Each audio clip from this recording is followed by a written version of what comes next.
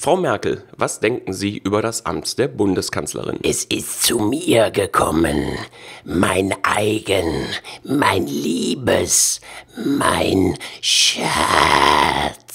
Äh, sonst vielleicht noch irgendwas? Mutti, Mutti.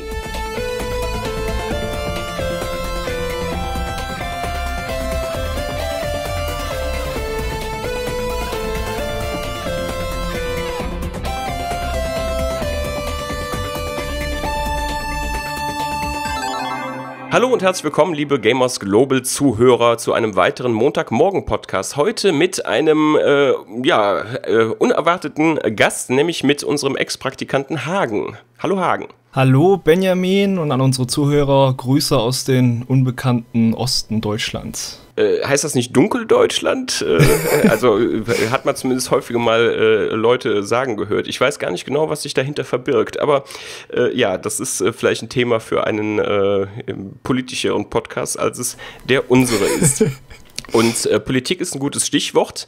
Äh, wir haben äh, diesen äh, Podcast tatsächlich schon in der Vorwoche aufgezeichnet, das heißt, bevor die Bundestagswahl äh, stattgefunden hat. Also wundert euch nicht darüber, dass wir äh, ja nicht zur Sprache bringen, warum Angela Merkel die absolute Mehrheit geholt hat oder vielleicht halt auch nicht. Ja, genau, Hagen. Aber wir fangen doch einfach mal mit dem an, was die User am meisten beschäftigt, nämlich was haben wir denn zuletzt gespielt? Bei dir weiß ich so ein paar Sachen. Ja, das lässt sich ganz gut nachverfolgen Folgen auf der Seite, weil ich ein paar Tests abgeliefert habe. Zum einen äh, Divinity Original Sin 2, wirklich ein sehr gutes Gruppenrollenspiel, wo ich dann auch äh, meinen Spaß hatte beim Testen und Pokémon Tekken, nicht Pocken, weil das zu sehr nach Krankheit klingt in Deutschland. Genau. Ja. Nee, aber ja. äh, du kannst ja trotzdem noch mal ein bisschen was äh, zu äh, Original Sin 2 äh, sagen. Äh, was hat dir da so mit am äh, besten dran gefallen? Am besten gefallen hat mir schon eigentlich die Tatsache, dass es mich immer wieder überrascht hat mit seinen kleinen Geschichten. Dann läufst du halt durch die Pampa und plötzlich sind da brennende Schweine, die offensichtlich verflucht wurden und dann kombinieren die das noch perfiderweise mit Öllachen und Giftwolken und äh, die Hälfte deiner Party ist eventuell gerade über den Jordan gegangen. Mhm. Kann Spaß machen. Ja, kannst Je nachdem, wie man eingestellt ist. Ja, klar, kannst du kannst natürlich auf jeden Fall. Also ich meine, brennende Schweine, das äh, klingt fast so ein bisschen äh, wie Humoranleihen äh, aus äh, Fallout beziehungsweise auch aus Wasteland. Das hat ja auch so ein paar ähnliche äh, Elemente. Das ist ja auch so ein, ja, ja, Humor der ganz besonderen Art. Äh, ja, ja, gerade bei äh, Divinity, das hat ja viel Anleihen von Pen and Paper oder will es auch so sein wie so ein Pen and Paper nur in digital und bei manchen erzählerischen Einschüben hast du schon das Gefühl, dass so ein ja, vollbärtiger Spielleiter gerade über seinen Schirm linst und dir zuzwinkert, weil er jetzt voll den super Witz gemacht hat. Hm. Ja, ich habe selbst hast du äh, äh, Pen Paper Rollenspiele irgendwie privat mal mit Leuten gespielt, weil ich selbst äh, bin damit ja tatsächlich nie in Berührung geraten. Ich hätte da zwar immer mal Lust drauf gehabt, aber auf der anderen Seite sowas ist ja auch mindestens ein abendfüllendes Programm. Mhm. Und äh, ja, weiß ich nicht. Deswegen ist es dann bei mir, habe ich dann in letzter Sekunde doch immer Abstand davon genommen. Wie sieht das bei dir aus? Hast du Pen-Paper-Rollenspiel gespielt? Oder Tabletop-Geschichten und so? Nee, da hatte ich auch nur indirekt Kontakt mit. Ich habe sogar eine Freundesgruppe, die sich regelmäßig trifft, aber das hat bei mir dann terminlich leider nie so hingehauen, dass ich mal wirklich mitmachen konnte. Und die Schweine wollten nicht brennen, äh, egal was äh, ihr getan habt, wahrscheinlich. Genau. Ja, äh, Pokémon äh, Tekken DX äh, hast du ja gerade auch noch erwähnt, äh, der den Test, den habe ich tatsächlich zum gegenwärtigen Zeitpunkt noch nicht gelesen. Den äh, wirst du jetzt äh, kurz nach dem Podcast oder vielleicht auch morgen äh, dann entsprechend noch äh, einreichen, äh, damit ich mir den anschauen kann. Wie hat dir das gefallen? das ist ganz witzig auch, weil ich ja in meiner Zeit bei GG vor Ort auch Tekken 7 getestet habe. Da hatte ich dann so eine Gegenüberstellung und es gefällt mir nicht so gut wie Tekken 7, aber es ist schon auf jeden Fall auch ein äh, ordentliches Prügelspiel, halt auch ein bisschen anders durch sein Phasensystem. Das kann auch durchaus Spaß machen, wenn man überhaupt nichts mit der ganzen Pokémon-Thematik am Hut hat. Ist auch sehr einsteigerfreundlich und äh, dadurch, dass man es mit einem Joy-Con quer schon spielen kann, eigentlich wirklich sehr gut, um mal einen Kumpel einzuladen, zu sagen, hier, nimm den anderen und haut man sich ein bisschen auf die Rübe. Dafür ist halt längerfristig schon, gerade durch das Attackenrepertoire, nicht ganz so viel Langzeitmotivation mhm. drin. Ist es denn so, wenn, äh, also ich meine, wie gesagt, das ist einsteigerfreundlich, hast du schon gesagt, also gegen die KI äh, hatte ich, zumindest solange ich das gespielt habe, jetzt auch äh, keine allzu großen Probleme. Spaß gemacht hat es trotzdem, äh, äh, da die Attacken auszulösen, weil mit Button-Mashing kommt man da notfalls immer durch. Mhm. Ähm, wie, wie ist, äh, ist das, ist das gegen andere Spieler dann ähnlich? Was, was ist da deine Einschätzung? also da kann man da mit Skill sehr wohl viel Tiefe aus dem System rausholen? Ja, das habe ich festgestellt, als ich dann äh, doch mal auch online Mitspieler gefunden habe. Da hat es auch nicht geholfen, wenn ich Figuren genommen habe, von denen ich schon wusste, welche Attacke was macht. Die können einen ganz schön abziehen. Und zwar nicht nur jetzt irgendwelche Japaner, die das schon äh, wochenlang kennen, sondern auch welche, die jetzt nur ein paar Spiele mehr hatten als ich, zumindest laut ihrer offiziellen Kampfstatistik. Die nimmt ja, ja dann nur Online-Kämpfe. Ich glaube, ich muss doch mal äh, auch gegen dich antreten, wenn man eine Gelegenheit dazu äh, äh, finden. Äh, gerne, gerne. Und, und mal schauen, äh, wie ich mich äh, da so schlage äh, weil ich glaube, so hundertprozentig wie äh, was jetzt genau an Attacken funktioniert, äh, hatte ich noch nicht äh, ganz durchblickt. Aber wer weiß, äh, vielleicht unterschätze ich mich da ja auch ein bisschen. Ja, ansonsten, ja, äh, ja bei mir kann man auch im Prinzip nachvollziehen, was ich so zuletzt gespielt habe. Ähm, ja, äh, FIFA 18, ähm, der Test ist ja äh, online, äh, kurz nachdem der PES 2018 Test auch online gegangen ist. Und, oh Wunder, oh Wunder, äh, FIFA äh, ist dieses Jahr auf jeden Fall doch nochmal eine ganze Ecke stärker als das äh, PES ist das natürlich auch ein bisschen geschwächelt hat, äh, muss man dazu sagen. Aber gerade eben was die spielerische Seite angeht, äh, hat FIFA doch äh, einiges dazu gelernt äh, dieses Jahr. Das spielt sich wesentlich dynamischer und es sieht auch äh, wesentlich realistischer aus, was jetzt äh, Zweikämpfe angeht und auch was die Kollisionsabfrage betrifft, die ja in der Vergangenheit doch immer wieder aussetzt hat. Aber das Positivste muss ich wirklich sagen, das ist wirklich The Journey. Also ich hätte es nicht gedacht, den ähm, mhm äh, im letzten Jahr den äh, Story-Modus, den hatte ich eigentlich nur mal kurz angespielt und dann hatte ich irgendwie keine Zeit und äh, habe nie äh, wieder weitergemacht. Aber der hat mir wirklich richtig gut gefallen. Also der ist gut gemacht. Das ist zwar so Seifenoper-mäßige Story im Großen und Ganzen, aber wirklich richtig gut gemacht. Äh, das Einzige, was mich da, auch ein paar wirklich nette Überraschungen drin. Also es gibt eine Szene, der darf ich äh, allerdings, ähm, äh, oder möchte ich auch äh, nichts spoilern, wo äh, ich wirklich äh, überrascht äh, war, dass da ja plötzlich nicht Alex Hunter, sondern jemand ganz anders im Mittelpunkt stand. aber damit lasse ich das auch mal äh, in Form dieser Fragezeichen äh, stehen, ohne da irgendwelche weiteren Andeutungen zu machen. Aber das hat mir echt gut gefallen. Äh, also auch reizvoll für jemanden, der so, so gerne mal ein Sportler-Drama sieht und so? Äh, ja, nee, absolut. Also, wie gesagt, es ist halt schon äh, ein bisschen klischeehafte Story. Äh, das ist überhaupt keine Frage. Es geht dann halt auch hier ne, um seine Familie natürlich wieder und seine Freunde und Rivalen und bla bla bla. Aber es ist halt einfach gut gemacht. Und im Gegensatz zu letztes Jahr gibt es auch deutsche Sprachausgabe für die, die äh, da Wert drauf legen. Allerdings ist EA da ein bisschen inkonsequent gewesen. Also wie man auf die Idee kommen kann, ähm, Alex Hunter deutsch antworten zu lassen, wenn er mit Cristiano Ronaldo, der sich halt wie andere Stars, die da im Story-Modus auftauchen, selbst spricht. Ähm, aber auf Englisch dann halt, ne? Äh, äh, mhm. Nicht, äh, also in gebrochenem Englisch in, im Falle von Cristiano Ronaldo, äh, nicht auf Portugiesisch, aber der spricht halt mit ihm auf Englisch und Alex Hunter antwortet ihm auf Deutsch. Das ist halt schon ein bisschen peinlich. Also da müssten schon entweder beide Englisch reden äh, und mhm. dann bleibt es halt da mal bei den deutschen Untertiteln oder sie müssen halt, was weiß ich, irgendjemanden neben der Cristiano Ronaldos äh, Dialoge halt auf Deutsch einspricht. Aber gut, wer auch immer die Entscheidung getroffen hat, aber das ist letztlich wirklich eine Kleinigkeit. Also wirklich richtig gut, kann man nur empfehlen. Das ist äh, nur einer der Vorzüge, den äh, FIFA 18 dieses Jahr hat. Ja, ansonsten brauche ich auch nicht viel zu sagen. Äh, Thimbleweed Park auf der äh, Switch gespielt, richtig schön äh, geworden. Und äh, da ich ja sowieso einer von den Leuten bin, die äh, das Dock äh, quasi nie angeschlossen haben, außer um mal vielleicht einen Screenshot für Gamers Global zu machen, ja, bin ich natürlich umso glücklicher, dass ich es da äh, mit Touch Control spielen kann, äh, aber notfalls eben auch da auf die gute Gamepad-Steuerung zurückgreifen kann. Ja, aber damit kann man es auch äh, an der Stelle äh, dabei bewenden lassen. Äh, oder hast du noch irgendwas gespielt, was, äh, was du noch nicht erwähnt hast und vielleicht noch erwähnen möchtest? Ah, nee, uralte Kamellen vom Stapel der Schande, da da lege ich den Mantel des Schweigens drüber. Ah, na gut, ja, dann äh, würde ich sagen, ähm, ziehen wir an der Stelle vielleicht einfach mal die User-Fragen vor, denn so viele haben wir davon äh, tatsächlich äh, gar nicht. Die Fragen, die jetzt äh, ähm, nach der Aufnahme bis zum kommenden Montag noch dazukommen, die werden wir dann natürlich in der kommenden Woche noch äh, entsprechend berücksichtigen. Also die gehen nicht verloren, da müsst ihr euch keine Sorgen äh, drüber machen. So, und da wäre die erste Frage vom Johannes. Der fragt nämlich, wer ist eigentlich Mr. G, der früher für Gamers Global ab und zu Tests geschrieben hat, unter anderem Uncharted 2. Äh, dazu kann ich nur sagen, das äh, liegt ja etwas vor meiner Zeit bei Gamers Global. Das heißt, das ist eine Frage, die müssen wir dann äh, auf die äh, kommende Woche verschieben, äh, wenn Jörg wieder aus Tokio äh, zurück sein wird damit er die dann entsprechend beantworten kann, wenn er das möchte. Und die zweite und ja, bereits letzte Frage.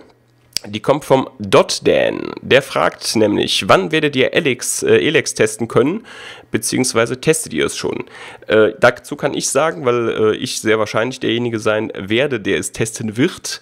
Äh, nein, wir testen es noch nicht. Ähm, ich nehme an, dass du da auf ein großes Printmagazin, das da einen, wie äh, es das äh, Magazin selbst nennt, weltexklusiven Test hat, aber das ist in dem Fall auch Welt, äh, Welt wollte ich schon sagen, in, der, in dem Fall auch wörtlich zu nehmen. Ähm, ja, die haben da halt einfach einen äh, Exklusivdeal ausgehandelt, wie auch immer, äh, warum auch immer. Und äh, von daher, äh, außer für dieses Magazin geht es für alle, andere, äh, alle anderen erst ein bisschen später los. Und äh, ja, wann das der Fall sein wird, das weiß ich im Moment noch nicht so genau. Wir rechnen mal damit, dass das spätestens Anfang Oktober, vielleicht auch schon ein bisschen früher, dann entsprechend die Testversion zur Verfügung stehen wird. Ja. Äh, und damit haben wir die User-Fragen auch schon durch. Ja, sowas. So ein Mist. Ja. Äh, ja, aber. Bin ich froh, dass ich da, was ich da an Einsichten liefern konnte. Wahnsinn. Ja, Hagen, so ist das. Manchmal muss man einfach nur dabei sitzen, zuhören und lernen. Ne? Also äh, ja, soweit man daraus irgendwas lernen konnte. Ich glaube, so viel war das nicht, aber macht ja nichts. Äh, ich wollte mir mal selbst auf die Schulter klopfen, so oder zumindest versuchen. Und ansonsten gibt es natürlich auch diese Woche einige neue Inhalte, die ihr auf Game Master Global lesen bzw. anschauen können werdet. Äh, das geht bereits heute los mit äh, einem Test zu Total War Warhammer 2 dass der Rüdiger Steidler als Haupttester äh, gespielt hat, aber auch Jörg hatte vor der TGS noch äh, Zeit, ein paar Stündchen reinzuspielen. Möglicherweise äh, hat das ja sogar auch ausgereicht, um da sich noch in Form eines Meinungskastens äh, zu beteiligen, aber das werdet ihr dann entsprechend noch erleben. Der Thomas Schmitz, der hat für uns The Inner World, der letzte Windmönch, getestet. Das hätte normalerweise ich gerne gemacht und das wäre auch äh, eine Sache gewesen, die ich dann in der kommenden Woche angehe. Allerdings ähm, steht da ein äh, anderer Testzugang zu einem äh, Spiel, über das ich noch nicht äh, im Detail reden darf, ähm, ist ins Haus geflogen und äh, da werde ich mich dann wohl schwerpunktmäßig drum kümmern müssen. Ich werde trotzdem versuchen, weil bis zum Embargo ist da noch ein bisschen Zeit, auch äh, in dieser Woche noch den Wunschreport für den September fertigzustellen, über den ihr ja abstimmen konntet. Das heißt, international unter Wert verkauft heißt der ja dem Titel nach. Und äh, daran werde ich mich entsprechend damit beschäftigen, ob es so ist, dass äh, beispielsweise die deutschen Entwickler in hiesigen Gefilden einen Wertungsbonus eher kriegen oder dass die internationalen vielleicht besonders kritisch dran gehen und vielleicht auch mit der Frage, ob äh, die deutschen Entwickler es irgendwie schaffen können, beziehungsweise was sie machen sollten oder müssten, um da international vielleicht ein bisschen besser wahrgenommen zu werden, als das im Allgemeinen. Es gibt ja auch ein paar Ausnahmen in der Vergangenheit vielleicht der Fall gewesen ist, beziehungsweise in der Gegenwart noch der Fall ist. Ja, ansonsten, äh, der Christoph, der hat ja ähm, auf jeden Fall schon den einen oder anderen Inhalt. Äh, das war zumindest die Planung, bevor wir den Podcast aufgenommen haben, zu seinem Besuch beim Bethesda Lineup Event auf die Website gebracht. Ich weiß, dass da unter anderem Doom VR und Doom auf der Switch geplant sind ähm, und da könnte im Laufe der Woche dann vielleicht auch noch das eine oder andere weitere Artikelchen bei rumkommen. Der Christoph selbst, deswegen habe ich die Podcast-Aufnahme halt mit dem Hagen gemacht, der ist äh, jetzt auf, einem, äh, auf dem Weg zu einem äh, Event in London Und äh, ja, er wird sich da ein Spiel anschauen, das wir auch namentlich noch nicht nennen dürfen. Äh, Publisher ist allerdings Ubisoft, da kann man sich vielleicht an einer Hand abzählen, um welches Spiel es sich handeln könnte. Und es ist nicht South Park, das äh, hatten wir ja schon auf der Webseite, wie ihr hoffentlich bereits gelesen habt. Wann da das Embargo fällt, das wissen wir allerdings noch nicht. Aber sollte das noch in dieser Woche fallen, dann werdet ihr natürlich entsprechend auch dort dann äh, ja noch einen Artikel und vielleicht auch ein Video, mal gucken, äh, bei uns auf der Website finden. Und ansonsten ist generell immer zu empfehlen, die Vorschau im Auge zu behalten, denn da kommen ja auch immer wieder mal überraschende Dinge hinzu, die wir dann für euch entsprechend zwischenschieben, um da zeitnah darüber berichten zu können. Von daher Vorschau im Auge behalten. Und äh, wie gesagt, heute geht es mit Total War Warhammer schon mal mit einem dicken Ding los. Ja, und damit kommen wir dann auch zu unserem Thema der Woche, das da heißt, schwer, schwerer, am schwersten, Trend zu knüppelharten Spielen. Braucht man das oder braucht man das nicht, Hagen? Wie so oft im Leben ist das höchstwahrscheinlich Ansichtssache. Also hat ja beides seine Berechtigung. Ja gut, das ist schon klar. Nee, aber äh, brauchst du das? So war die Frage gemeint natürlich. Ich brauch's nicht. Also ich bin auch froh, wenn ein Spiel mir zumindest die Wahl lässt und ich ja nicht irgendwo hänge, dass ich es dann auf leicht stellen kann, weil irgendwann ist ja doch mal, wenn man auch begrenzte Zeit hat, was zu spielen, einfach nur nervig, wenn du denkst, ah, jetzt in zwei Stunden schaffe ich das und das und dann hängst du an einem miesen Moment im Spiel, wo du irgendwann auch denkst, ah, der ist doch schlecht programmiert und hast du nicht gesehen. Hm. Äh, was sind so die äh, ja, anspruchsvollsten, schwierigsten, unnachgiebigsten Spiele, die du so gespielt hast, äh, die dir auch noch gefallen haben dabei am besten? Oder auch nicht? In letzter Zeit habe ich wieder viel, das heißt wieder, in letzter Zeit habe ich Dark Souls 3 nachgeholt, jetzt in dieser Komplett-Edition. Und das war schon knüppelschwer, also auch schwerer als der erste, obwohl ja viele gerne sagen, ach, das ist immer weichgespülter geworden, das kann ich überhaupt nicht unterschreiben. Und ja, da wusste ich natürlich auch, worauf ich mich einlasse. Das hat dann seine also, Qualitäten. Also du hast äh, äh die, die, ersten beiden Teile von Dark Souls, die hast du vorher schon gespielt? Oder ja. äh, genau. Und ja, den ersten ganz exzessiv, also mit diesen, äh, was weiß ich, wie viel New Game Plus Zirkel ich da hatte und den äh, zweiten dann aus Zeitmangel nur angefangen mhm. und jetzt den dritten dann doch äh, mit meiner Freundin. Also ich spiele und sie schaut zu und äh, manchmal, wenn es dann zwölf Anläufe braucht, äh, nimmt sie sich ein Buch oder so. Ja, man muss ja irgendwie die Zeit vertreiben. Aber du fandst wirklich äh, Dark Souls 3 äh, schwieriger als, äh, als den ersten Teil, weil tatsächlich, also ich hätte aber ist vielleicht auch eine Frage der Reihenfolge, in der man es in der man es gespielt hat. Keine Ahnung. Oder so oft, wie man es, du hast es ja mehrfach durchgespielt. Naja, keine Ahnung. Nee, ich hätte jetzt tatsächlich gesagt, abgesehen von so ein paar einzelnen Momenten, dass Dark Souls 3 mir doch eher sogar noch ein Stückchen äh, leichter gefallen ist. Aber, aber äh, gab es denn irgendeine Stelle, wo du äh, länger gehangen hast?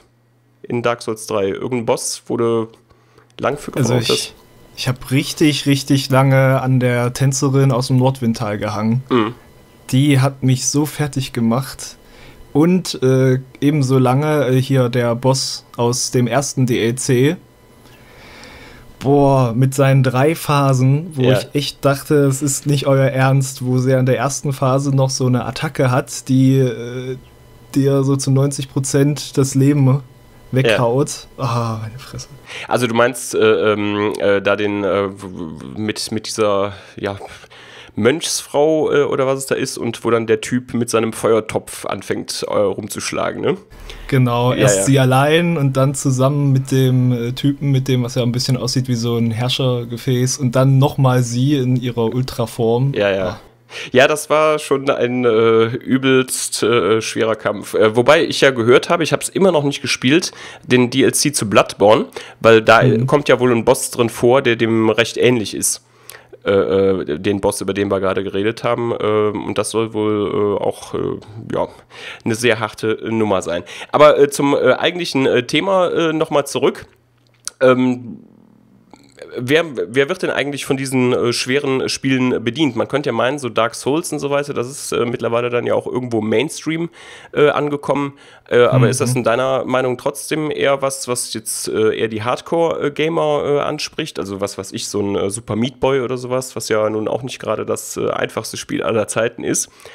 Ähm, oder ist das wirklich was, womit man auch beim Massenpublikum glänzen kann? Na, an sich bietet ja auch Dark Souls so ein paar äh, Schlupflöcher, sag ich mal, um es sich einfacher zu machen. Oft schon, aber es ist ja Nische. Also es ist schon sehr spitz, gerade wenn, wenn ich überlege, wie der dritte anfängt, wo der ein paar Meter gehst und dann kommt schon dieser erste Boss, der es ja wirklich in sich hat. Da glaube ich, wenn du das vergleichst mit äh, anderen Spielen, mit den vielen Hilfen, die die dir geben, ob jetzt visuell oder auch äh, spielerisch, da so eine Frustrationstoleranz vorauszusetzen, ist äh, absolut nischig, äh, nischig. Und dann hast du aber dafür als Trade-off, als, als Gegenleistung so ein Gefühl, als hättest du auch was geschafft, wenn der Boss dann mal liegt. Ja gut, also man könnte jetzt ja zum Beispiel bei den äh, Souls-Spielen oder auch bei The Search und so weiter äh, sagen, die sind zwar sehr schwer, aber ähm, weiß ich nicht, sie geben dir halt äh, trotzdem äh, eine faire Chance, um es mal so zu sagen. Oder eben auch, wie du sagst, sich Schlupflöcher, dass man sich da doch ein bisschen stärker äh, hochleveln kann, wenn man das will und äh, wenn es einem irgendwie hilft. Ähm, wo ziehst du denn da die Grenze? Also wäre so ein Spiel mit äh, Permadeath zum Beispiel für dich, ähm, käme das für dich überhaupt in Frage? Ah, nee, da ziehe ich bei mir dann doch die Grenze, weil ich dann sage, wenn wirklich Permadeath ist und der ganze Fortschritt, den ich hatte, weg ist, dann nochmal einzusteigen, das äh, wäre mir nichts. Ich habe auch Erfahrungen gemacht mit Spielen, die ich nicht zu Ende gespielt habe, weil ich halb durch war und dann hat es aus irgendeinem Grund äh, den Spielstand zerschossen. Da hat das, äh, das war selten, dass ich dann weitergemacht habe und wenn dann irgendwie wirklich ein paar Jahre später nochmal, wenn wenn da Gras drüber gewachsen ist. Hast du äh, bei solchen Spielen, ich meine, das zumindest auf PC gibt es ja da äh, ohne weiteres äh, im Regelfall Möglichkeiten zu äh, auch äh, schon mal irgendwie einen Trainer oder sowas benutzt, äh, ähm, um ja, die das Leben leichter zu machen, so Unsterblichkeit oder keine Ahnung, die Trefferpunkte auf ein absolutes Maximum hochgesetzt schon mal sowas benutzt oder würdest du das nicht mal? Würdest du dann eher sagen, nee, dann spiele ich das Spiel gar nicht, wenn ich das brauche? Um, um ein Spiel zu schaffen, tatsächlich noch gar nicht. Also früher bei so alten GTAs und so, da ist das ja auch für mich ein Teil vom Reiz gewesen, mal mir irgendwelche lustigen äh, Waffen oder Fahrzeuge herzucheaten und dann zu sehen, äh, wie lange ich da durchhalte gegen die Polizei. Aber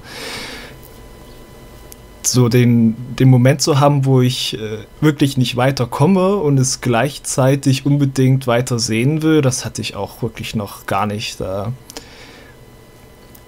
ist ja auch selten so, würde ich jetzt behaupten, mal so auf der Hüfte geschossen, wenn das wirklich so ein schweres Spielerlebnis ist, dass es nicht um die Spielmechanik im Kern geht. Wenn, wenn ich dann genug davon habe, dann lasse ich es halt sein und dann hat das Spiel jetzt auch nicht irgendwas Besonderes, dass ich sage, oh, ich möchte unbedingt noch äh, das Ende von der Geschichte sehen. Ja, war, aber äh, war denn zum Beispiel, um beim Beispiel Dark Souls zu bleiben, der Schwierigkeitsgrad ein Grund für dich, äh, Dark Souls zu spielen, oder sind das doch eher andere Sachen, die dich da dann äh, äh reizen, da in die Spielwelt äh, reinzugehen und äh, ja, halt einfach die Bosse zu legen? Beim allerersten Dark Souls war das wirklich auch, glaube ich, für mich so ein Anreiz. Also ich hatte da viel über Demon's Souls schon gehört zu dem Zeitpunkt, aber das nie spielen können und hat gedacht, ah, dann kommt da das nächste, super, mach ich mal. Äh, fand das Kampfsystem halt so wunderbar, aber ich bin auch jemand, der, der viel Spaß hat, immer wenn er eine neue Waffe findet, die erstmal aufzumachen, Gegenstandsbeschreibung, ah, und so und so passt das in die Geschichte, mehr oder weniger. Jetzt äh, ist es natürlich so, dass die äh, ja richtig schwierigen Spiele, also auch wo mit äh, Permadeath und so weiter äh, dann auch ganz gerne gearbeitet wird, das sind ja zumeist dann eher Indie-Spiele. Ähm, also da kann man doch äh, sicherlich sagen, da wird äh, doch tatsächlich eher die Nische, von der ich eben sprach, dann bedient, weil die greifen jetzt ja im Regelfall, wenn es halt kein Super Meat Boy ist, irgendwas, was gehypt worden ist und sich dann entsprechend verkauft, ob es dann im Einzelfall immer gespielt worden ist von den Spielern, ist dann ja eine andere Frage äh, weil das äh, werden dann ja auch keine Millionenzeller. Aber es ist ein Verkaufsargument geworden. Äh, wir sind besonders schwer. Ja, ja, der, so der, der Reiz von der Herausforderung würde ich auch sagen. Ich meine, äh, dann gibt es ja auch für die Leute, die sich dem gern stellen, den Reiz, das noch richtig gut zu machen. Und dann kommt es halt, dass ich zum Beispiel für den Kampf, den wir gerade meinten, der so schwer ist, äh, gucke, wie haben das denn andere Spieler gemacht und muss sehen, wie den irgendjemand auf Level 1 ohne Schild macht. Und ja, Das ist dann auch der Reiz für die Leute. Ja? Das ist ja noch spitzer die Nische, die sich da so richtig rein vertieft mhm. und äh, die da den Reiz auch zieht aus dem Spielsystem, das funktioniert, das fair ist, aber gleichzeitig halt äh, sackschwer. Mhm.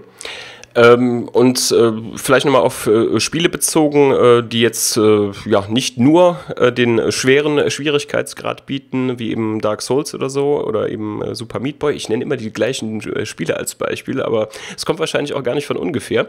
Ähm, aber äh, wie machst du das denn zum Beispiel bei Spielen, die dir die äh, Wahl lassen? Äh, zum Beispiel, was weiß ich, Dead Space, das ist auf dem, äh, da gibt es ja auch einen Permadeath-Modus theoretisch, aber auch noch ein paar höhere Schwierigkeitsgrade, die halt schon äh, erheblich anspruchsvoller sind, als wenn du das Spiel auf normal oder äh, nur auf schwer in Anführungszeichen spielst. Äh, bist du dann auch einer, der ähm, sich bei solchen Spielen dann sagt, so beim zweiten Durchgang oder beim dritten, im Regelfall muss man die ja erst noch freischalten, die Schwierigkeitsgrade, der sich dann freiwillig da auch nochmal der Herausforderung stellt? Oder ist dir das, wenn du die Wahl hast, dann nicht mehr so wichtig? Da halte ich es wirklich mit dem ersten Durchgang meistens auf normal, aber wenn es mir richtig äh, gut gefallen hat, äh, kommt das durchaus vor. Zum Beispiel, wo ich mich auf jeden Fall erinnern kann, war The Evil Within, das ich sehr schön fand von seinem ganzen Design und sogar auch die Geschichte, auch wenn ihr die sehr komisch erzählt. Und da habe ich dann auch, nachdem ich fertig war, direkt gleich nochmal und dann auf einem höheren Schwierigkeitsgrad. Ja, ja gut, ich meine, wenn man es natürlich auch schon kennt und bei den Bossen weiß, was man tun muss, äh, äh mhm. dann äh, wäre ein nochmaliger Durchgang auf normal gegebenenfalls äh, dann vielleicht auch sogar eine Ecke äh, zu leicht. Was, äh, was gab es da für Schwierigkeitsgrade nochmal, wenn man es durchgespielt hatte? Gab es dann nochmal einen neuen zu, zu, zu schwer, also noch einen vierten? Ja, genau, die hatten noch den Akumu, glaube ich. Also es gab ja schon vorher normal, überlebend und schwer. Also die hatten auch so ja. komische Namen. Und bei Akumo war dann wirklich Permadeath. Aber da hat es mich dann auch nicht gereizt, ja. das auszuprobieren. Ja. Gerade bei äh, Evil Within mit seinen Fallen und so, da reicht ja einmal nicht aufgepasst. Ja, ja, klar. Nee, das ist, äh, das, das wäre dann äh, schon, äh, schon eine Ecke zu hart wahrscheinlich. Nee, also wie gesagt, ist bei mir äh, auch, nicht, auch nicht anders. Äh, wobei das in letzter Zeit, muss man sagen, nachgelassen hat. Das liegt aber wahrscheinlich bei mir daran, äh, dass ich zwar sehr viele Spiele spiele, aber ich selten die Zeit habe, so wirklich noch ein zweites Mal zu spielen. Äh, mhm. Aber wie gesagt, es kommt äh, halt äh, immer, immer drauf an. Also ich meine, äh, wie gesagt, wenn man erfahren äh, ist in, äh, in, dem, in der Spielmechanik, ja, dann schaltet man gegebenenfalls automatisch dann noch einen Schwierigkeitsgrad hoch. Weil ich kann mich zum Beispiel daran erinnern, das war das Dead Space 3 damals. Das habe ich auf jeden Fall auf dem zweithöchsten, glaube ich, vorhandenen Schwierigkeitsgrad gespielt äh, ähm, der zum Start zur Verfügung stand. Und äh, da hat man schon gemerkt, dass ich äh, einige Male das äh, Dead Space 1 durchgespielt habe, weil ich fand das trotzdem streckenweise zu leicht. Ich habe erst mhm. zurückgeschaltet im letzten Level, äh, ähm, äh, weil ich da an der Stelle einfach nicht weitergekommen bin und mich nur geärgert habe. aber ja. noch mehr geärgert habe ich mich danach äh, als ich dann äh, direkt im ersten Versuch, nachdem ich eine Stufe runtergestellt äh, hatte, weitergekommen bin. Denn dann kam der finale Bosskampf, der so pipi einfach war, also wirklich so ein paar, paar Meter weiter, wo ich die Stelle mhm. erreicht hätte, die ich hätte erreichen müssen. Äh, ja, und das hat mich geärgert, weil dadurch hatte ich halt das ganze Kapitel dann halt nicht als auf dem Schwierigkeitsgrad durchgespielt markiert. Naja. Ja. Das naja, ist gut. vielleicht aber wirklich auch nochmal so ein interessanter anderer Aspekt. Jetzt äh, so ein Super Meat Boy, wo es dann einfach äh, schwer und die Herausforderung und die Belohnung, wenn du es schaffst, oder so ein Horrorspiel wie Dead Space oder Evil Within, wo, wenn es zu einfach ist, der, der Horror ja auch weniger da ist. Ne? Ja, nee, das ist klar. Also so ein bisschen, äh, wenn das anspruchslos wäre äh, und äh, du nicht auch mal ins Gras beißt, zumindest beim äh, ersten Mal, dann, äh, ja, weiß ich nicht, dann wird dem Ganzen sicherlich auch ein Stück weit äh, Atmosphäre, Atmosphäre flöten gehen, Atmosphäre flöten gehen. Und äh, ja, also wie gesagt, aber da ist halt wichtig, dass das gut ausbalanciert ist. Ne? Und ja. äh, wie du zum Beispiel bei Evil Within sagst, also dass, wenn man da jetzt ständig irgendwo wirklich in eine Falle läuft und äh, der, äh, wie heißt der, Sebastian Castellanos äh, da äh, ja effektreich vor einem ablebt, Äh, ja, das äh, wird dann natürlich äh, auch keinen Spaß mehr machen, weil dann geht die Atmosphäre, Atmosphäre in anderer Hinsicht äh, verloren. Ja, da hm. lässt du dich ja nicht mehr reinfallen, wenn du ständig dasselbe machst. Ich hatte sowas beim ersten Dead Space, was ich dann auch nochmal auf schwer gespielt habe und da ist ja zwischendurch das, wo du auf Meteore schießt, die auf das Schiff fallen äh, mit so einer Kanone und bis dahin fand ich das super, aber das war dann so, so, ein, dumm, so ein dummer äh, Geschützturm-Moment, wo ich wieder und wieder gestorben bin, was da für mich auch überhaupt nichts gebracht hat zum ganzen Rest. Ja. ja. Nee, wenn der hängst, ist halt doof und dann bist du halt froh, wenn du das auch nochmal nachjustieren ja. kannst. Ja. Ja, ja das, Lust, das Lustige war damals, äh, als ich das äh, Dead Space gespielt habe, das war bei mir so die, äh, die Zeit, in der das angefangen hat, dass ich auf äh, Achievements so ein bisschen scharf war. Und ähm, äh, da gibt es halt ein Achievement, das heißt Genialer Techniker Stufe 3 äh, bei Dead Space. Ne? habe ich gedacht, ja, Stufe 3, ne, das ist der schwere Schwierigkeitsgrad. Ja, und ich habe das auf äh, schwer gestartet äh, und auch auf schwer durchgespielt. Und du musst ja im Prinzip dann auch hier so New Game Plus äh, mäßig äh, das weitermachen, damit du die äh, Waffen äh, alle entsprechend aufwerten kannst, weil du kriegst ja ansonsten mhm. nicht genügend Energieknoten und so weiter.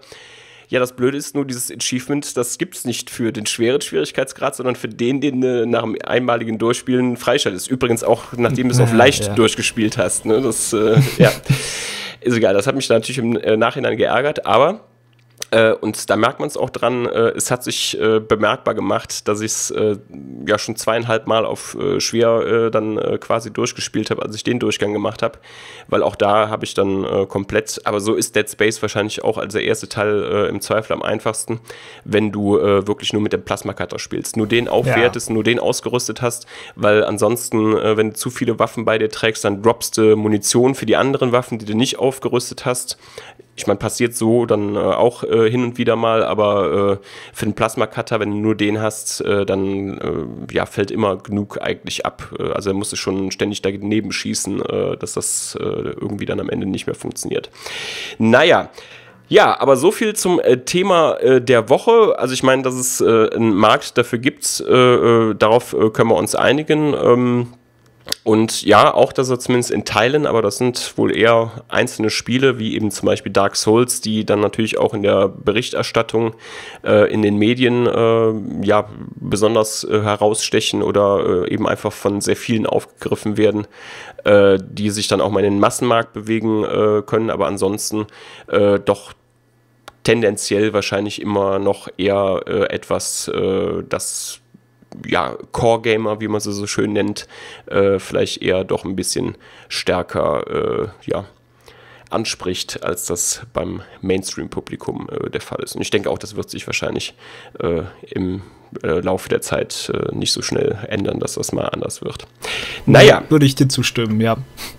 Gut, dann würde ich sagen, sind wir auch durch für diese Woche. Äh, wir danken euch ganz herzlich fürs Zuhören. Ihr wart gestern hoffentlich wählen. Äh, ob eure Entscheidung gut war, das äh, wissen wir zum Zeitpunkt der Aufnahme auch noch nicht, aber wir werden es sehen. Und wünschen damit ja, allen Zuhörern alles Gute. Und dem Hagen natürlich sowieso. Und dem Hagen danke ich an der Stelle auch ganz herzlich nochmal dafür, dass er so kurzfristig äh, bereit war, an unserem Podcast teilzunehmen. Ja, äh, danke für die Einladung und danke fürs Zuhören. Tschüss. Tschüss. Das war der Gamers Global Podcast. Vielen Dank fürs Zuhören und besucht uns bald wieder auf www.gamersglobal.de.